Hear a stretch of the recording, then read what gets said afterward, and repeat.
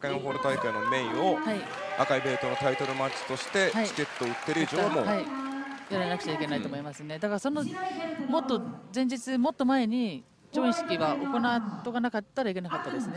本来ならここで見せるべきものではなかはい、った、そうですね。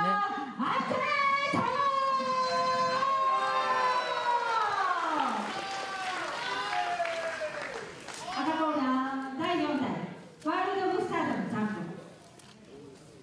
だからこの時点で、はい。そのよしこ選手がの女マッチ調印書に関することの、まあ、アクトの言動によってはい、納得がいってなかったのか、それとももっと広い部分で、その団体としての一連の流れとしてのこの今日までの至る流れに対して、いろんなものに対してやっぱその腹を立てていたのかっていう部分はまあ分からないところではあるんですけども、はい。だからまあそれでねあのこう仲の悪いアクトだったんで余計にこうなってしまったっていうのもあるかもしれないですけどね。さあタイトルマッチのゴングが鳴りました。あ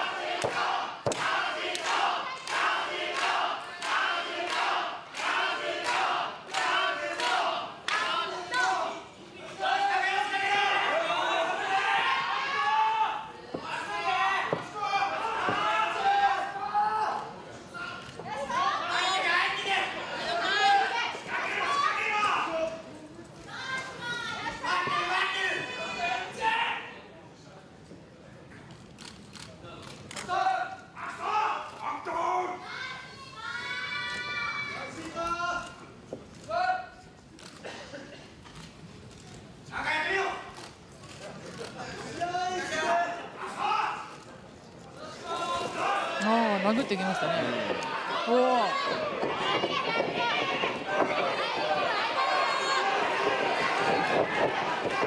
さあ、まあ、こはい。のナックルということですぐに和田恭平レフェリーがチェックに入ります。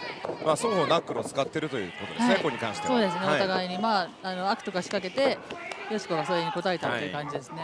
あ。で、ここで馬乗りになって、はい。パはい。ンチあるのパンチあるのパンチあるのナックルだぞ。ナックル入ってんぞまあ、先にやられてますからね、よしこの方はね、バンバン。落ち着けやらしとけやらしとけやらしとけいいよ自分のペースで返せばいいからさあ、ここで多分、まあ、今、画面に映りましたが、はい。まあ、アクト選手の鼻から出血が見られるために。和田恭平が一旦ブレイクさせます。はい。まあ、さっきの殴り合いの時に、はいまあ、多分鼻が、えっ、と、折れたっていうあれですかね。チェックに入ります。はい。大丈夫か？止めるぞ今、和田恭平レフェリーは、はい。アクト選手に続行の意思があるかどうかをチェックしました。はい。で、よしこには、あの、グーでは、拳で殴るなよっていうことを言ってますね。まあ、でも、お互い、あの、拳で殴ってますからね。そうですねたまたまよしこは、鼻が折れなかっただけなんで。はい。ああ、なるほど。はい。今度やったらはしゃげしろお前はまあ、仕掛けていったのはアクトの方ですからね、よしこだって殴られたまんま黙ってるわけにもいかなかっただろうし、もちろんそれやり返しますよね、たまたま、まあ、鼻に入ってしまって、うんまあ、でも、この時点でお客さんが引いてるとか、あのまあ、まだ応援してますからね、まだあれですけど、これ以上やったらどうとかっていうことを、多分本人たちもプロだったら分かってると思うんですけど、どうする？あまたこ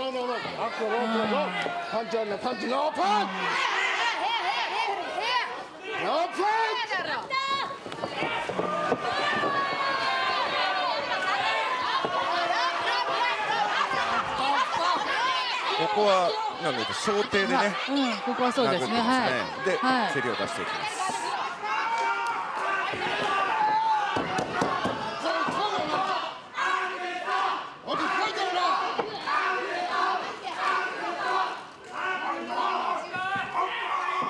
まあでも今のあの組んだ時でもアクトもあの戦う意思があってちゃんとまたグーで殴りかかっていってるんですよね。はい。やっぱよしこの一発の方が大きいから。さあ、ショートい。った、さあここからまずアクトが戦い方を変えましたね、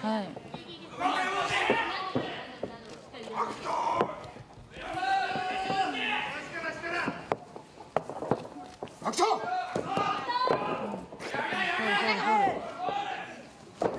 ホールホールホールそうですね。ロープブレイクロープブレイク。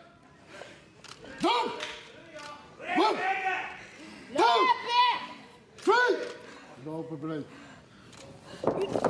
しゃ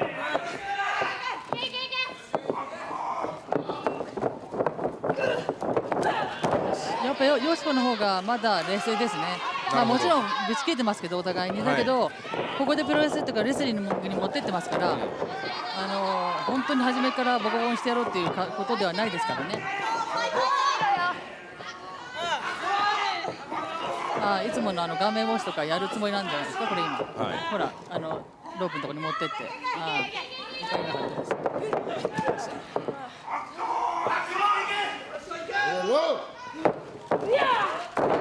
それで顔面押しですね、いつものね、よしこのパターンですよね、ああ、いかれなかった。まあよしこにしてみれば、まあ、この時点で推測するに、まあ、あらゆる面ではい、あらゆるその戦い方でもうこのアクトを明確に上回ってもうそうですね、あと今、これで結局動かないから何もできないんですよ、よしこも。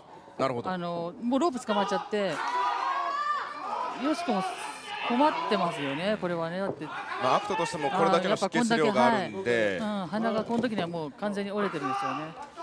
大丈夫だぞもう完全にできない状態ですよね、試合をね。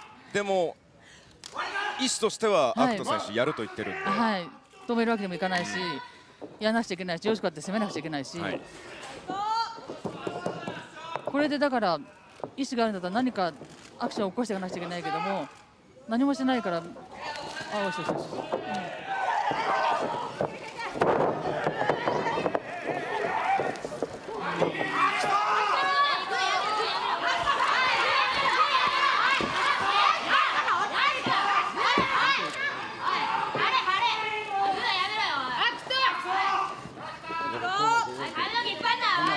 引っ張んじゃねえよ。んもちろんもちろん。さあここで髪を持つことに対してはい。離せはい。持つな髪持つい。持い。な起きる起きろ起きる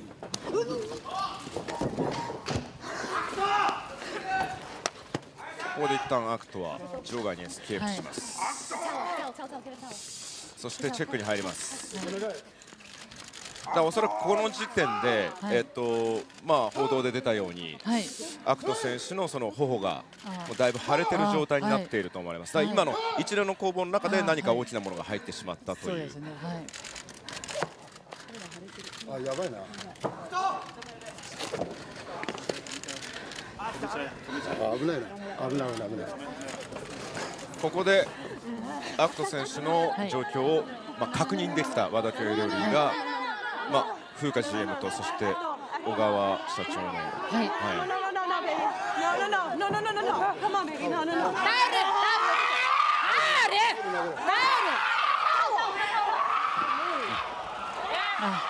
だこれを見れば分かるように、はい、和田京平レフリーの方が、はい、セコンドにファウルの指示を出しましたね、はい、本人はやっぱしやるって言って聞かないと思ったんで、木村の方にその意思を伝えて投げさせたんでしょうね。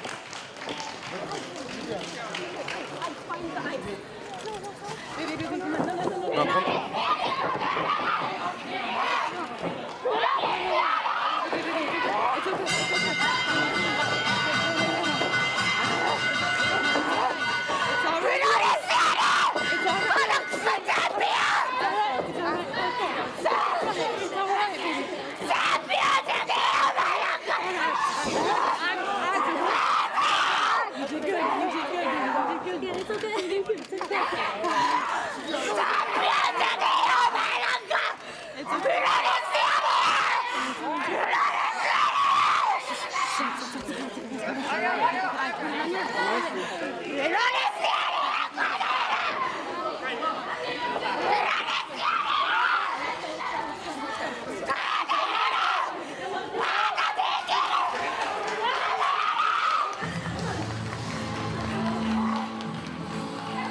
まあ、この時点での決着は、まあ、レフリーストップか、まあ、タオル投入の TKO ですが、まあ、後日、まあ、無効試合ということで、試合としては成立しなかった、ということになります。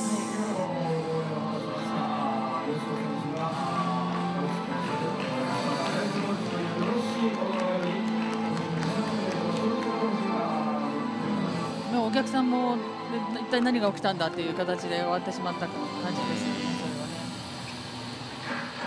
で実際に、はい。まあ試合をご覧になって、ブルーさんはい